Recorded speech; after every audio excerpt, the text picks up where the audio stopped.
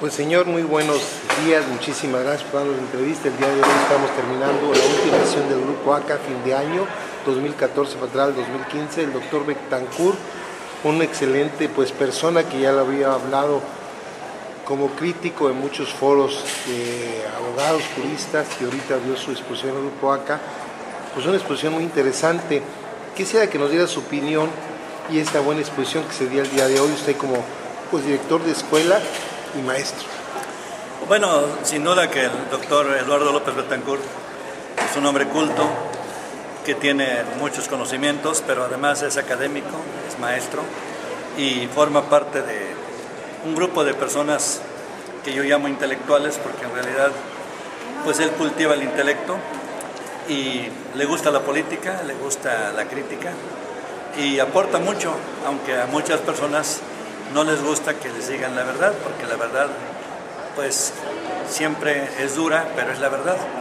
Y creo yo que hace falta personas como él que tengan el valor para hacerlo, porque muchos tenemos conocimientos, pero a veces nos falta la decisión de opinar. Y el doctor Eduardo López Betancourt, bueno, pues por eso mismo lo tienen marginado en puestos públicos y en todo, porque es un crítico del sistema y no solamente del sistema, sino de aquellos que se han beneficiado del sistema. Creo yo que es interesante lo que él dice y hemos aprendido mucho de él. Creo que debemos también pensar eh, con crítica y autocrítica para que podamos sumarnos al esfuerzo de sacar adelante no solamente a Guerrero, sino a México. Y en ese sentido, pues es el llamado de él. Fabuloso, pues realmente una crítica muy constructiva que hizo a la política pero con la intención pues, de mejorar el país y mejorar Guerrero. Pues eh, algo más que quisiera comentar que se nos haya pasado preguntar.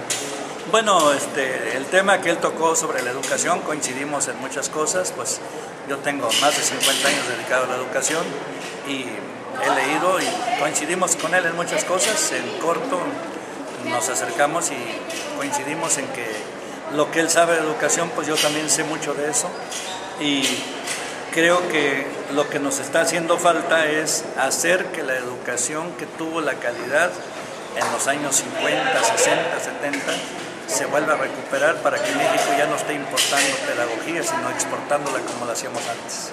Como usted comentaba, no perder el enfoque y... No perder la misión ni la visión de lo que estamos haciendo, sobre todo en la educación.